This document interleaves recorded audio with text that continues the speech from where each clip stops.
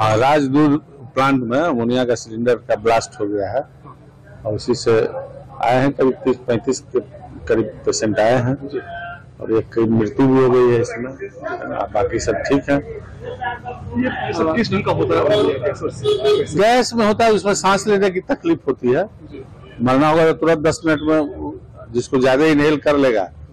नहीं तो फिर हल्का फुल्का तकलीफ होके फिर इलाज हो जाए